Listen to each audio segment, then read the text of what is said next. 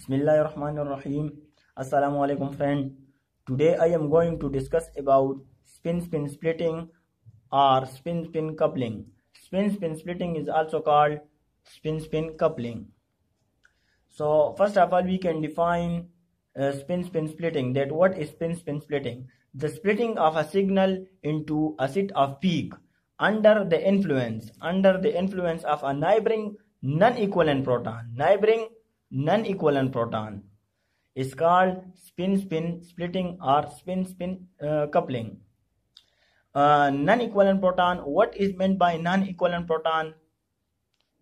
We discussed non-equivalent and equivalent proton in the previous lecture. But here you can remember that that non-equivalent proton is that type of proton which having different uh, environment. is called non-equivalent proton. So that type of splitting in which one set of proton uh, uh, split due to the influence of due to the influence uh, due to the influence of other set of proton is called spin-spin splitting. To understand the spin-spin splitting, we can take the example of 1,1,2-trichloroethane. This compound is this compound is 1,1,2-tri chloroethane. 1,1,2 trichloroethane in this compound two sets are present. In one set two protons are present. And if we look on the other end uh, the, the, second set uh, contain one proton. One proton. And this set have two protons if we talk about this set of proton, this set one set of proton, then this set of proton influence the second uh, set of proton. And this type of splitting can be explained on the basis of n plus 1 rule. n plus 1 rule. What is meant by n? n represent the number of proton, the number of non-equivalent proton. So if we talk about this set, then this set influence the second uh, set of proton. And in the second uh, set of proton, there are two proton are present. So the value of n is n is equal to 2.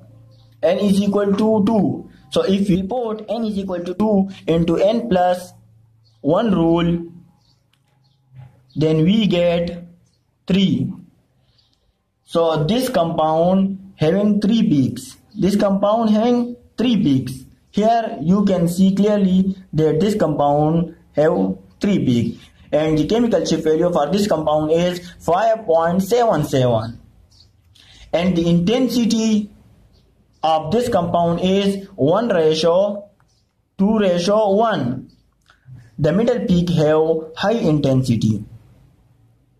So that's why eh, the intensity is 1 ratio 2 ratio 1. And on the other side, when we talk about this compound, this set of proton, then this set of proton eh, influence this set of neighboring proton. So n is equal to 1. n is equal to 1. Why n is equal to 1? Because here one proton are present.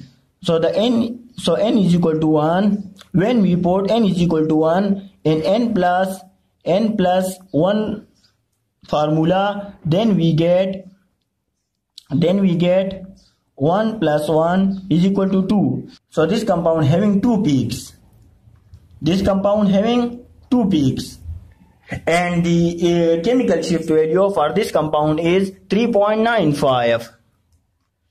So this is the best possible explanation for spin-spin splitting or spin-spin coupling. And the compound which having three peaks are called triplet are called triplet. And those type of compound in which uh, two peak are present then the compound is called doublet. Then the compound this type of compound is called doublet compound. And this type of compound is called triplet triplet doublet and triplet and those type of compound in which four peak are present is called quintet and so on So this is all about the spin-spin splitting or spin-spin coupling. Okay, thanks.